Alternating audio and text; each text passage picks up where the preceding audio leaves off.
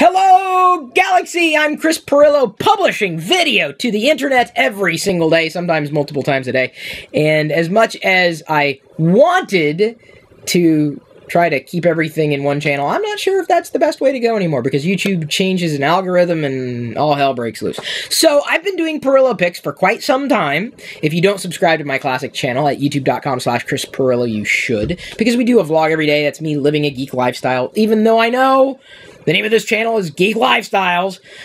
I'm streaming this live. I do a live video every weekday. TLDR, the Lockergnome Daily Report. Part of it is the Daily Show and Tell. So uh, today it's going to be a uh, an action figure haul, a Star Wars action figure haul, starting with Ahsoka Tano. Now this is the six inch Black Series line. I'm not going to open her because I only have one and I'm looking for a second one. And unfortunately, every time I go to look for them being in stock, they're no longer in stock. And I'm not going to pay anything more than retail.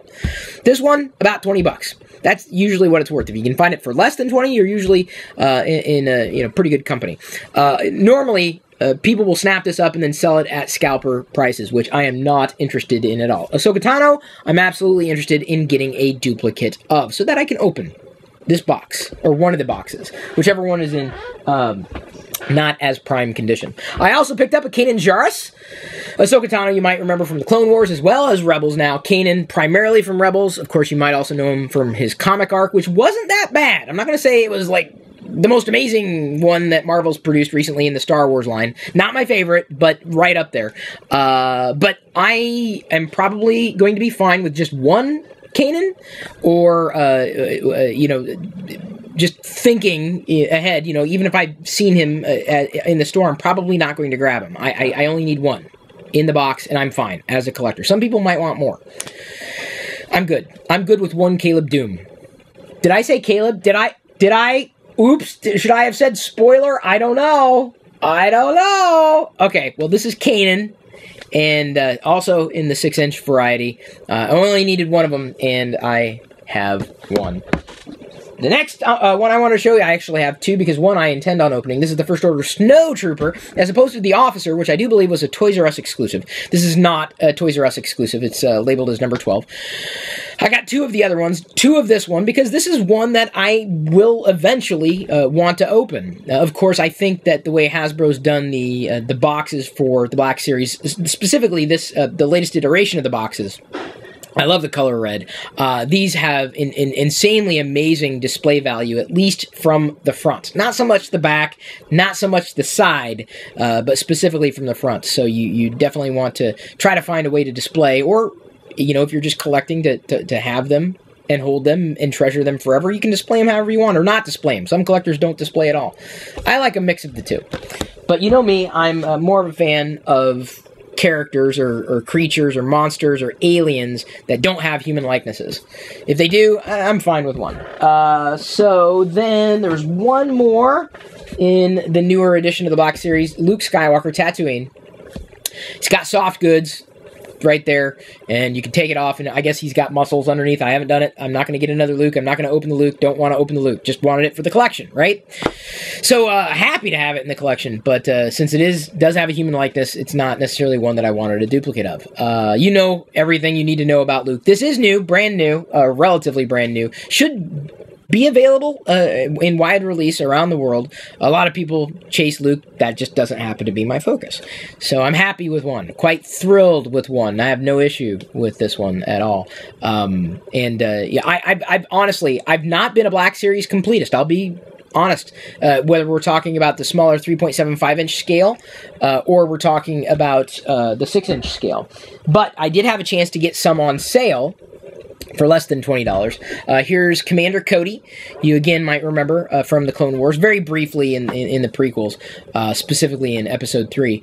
Um, but you know, I know of the character Commander Cody. I like how uh, the the uh, the Republic designed well i guess the, the, the, republic ethos really. This isn't an imperial ethos. It's a pre-imperial ethos.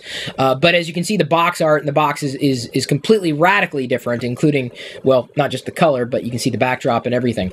Did not complete this series but i may go back if the prices are good and, and grab a few maybe not all of them that i may want to get for my collection. These are probably going to stay inside the box. Ooh, there's a little bit of gunk there It's fine. It's okay. It's normal. Uh, Clone Trooper Captain, and you can tell that this is probably more of the uh, well, the first generation of, of, clones, if only because of the helmet design compared to the later generation of, of clones, the more of the Episode Three era of clones. They have a different uh, different helmet design than the uh, the older series. Uh, but many of the Star Wars fans kind of already knew that. Again, got it at a good price. Sometimes it's okay to wait. Sometimes I want to snap them up. But that's another reason I'm not willing to pay scalper prices.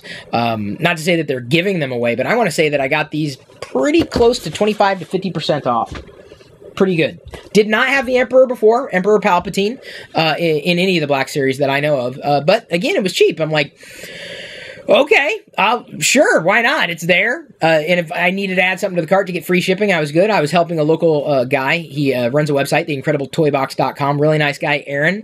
Uh, I believe in supporting small businesses and supporting fellow collectors, and so it just made sense. It added up. I didn't have it and uh, now I do. I, I would have been, I probably in the store, you know, uh, would have walked by him, but decided at this point that it was time to get Emperor Palpatine, at least the Black Series Emperor Palpatine.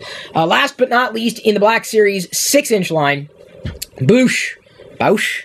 They never actually said the name aloud. It, Princess Leia, in disguise, that she she's the, the the cardboard. It's not bent. It's just it's kind of not buckled. It's just curved there. So Leia is not going to turn, and this, the reason why I, I, have it on the turntable so you can see it from all sides. Uh, but I will hold Leia still, trying not to get the wrong reflection. I like this. I you know I want to remove this one from the package, if only so that I can put the, the helmet on, because that's, you know, kind of what I prefer. Not to say Leia's bad. It's just I, I don't necessarily chase Leia figures. And it was, again, on sale. And, and when I find a figure that I don't necessarily have that's on sale, I'm, I'm usually inclined to snap at it, or to, to, to grab it. So on the back, we see Bib Fortuna and Boushh uh, one of my favorite figures of the uh, of vintage line.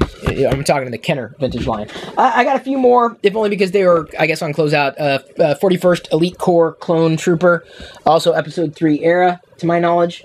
Didn't have it. Got it. This is the Black Series. This is the the 3.75 inch scale Black Series. I'm just gonna back to back these things. Uh, Clone Pilot number eight. Sorry, you won't be able to read the back. But I'm trying. I'm just trying to speed it along, you know. Uh, and then uh, a sec. Wait a minute.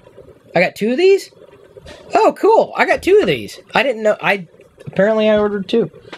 I better check the invoice because I think I only ordered one. I, I better. I'm, I'm not gonna open this. I'm honest. I'm gonna. I would send it back if I didn't order this one. I gotta check. So I'm I'm honest. I, I really am that way. Or you know, if I did order two, then I can open one. Yay! So, Pirillo picks every weekday, different show and tell, uh, generally things that, you know, I, I get on a regular basis that I just like talking about. They don't necessarily fit completely within the vlog that we do on a daily basis. Uh, they're not the tech content that I largely produce for my patrons, uh, but it's still fun to do. So TLDR every weekday, one tech topic, and then tech Q and A and tech news. Uh, patrons get uh, pretty much most, if not all, of that. Uh, Pirillo picks I'm going to try to do it weekday in the Geek Lifestyles channel. We're going to try. A lot of it's probably going to be Star Wars, and I'm not going to apologize for that. Uh, of course, daily vlogs happening uh, consistently uh, at youtube.com slash Chris Pirillo, and because I, I, I, like doing it that way, and maybe when we do when I do hangouts on a regular basis, it's usually uh, in the Chris Pirillo channel too. It's difficult to have one YouTube channel. I tried. I tried, but YouTube changes things, and and, and I, I just want to produce more and more content. I love I love doing this stuff. I love it. You know, I, it's so hard for me to limit my excitement for a lot of these things. I, I don't want to limit myself, so the best way to address it is to segment by topic. So thank you for uh, tuning in. I am now going to move on to answer some questions from my patrons. Also talk about today's news with my patrons.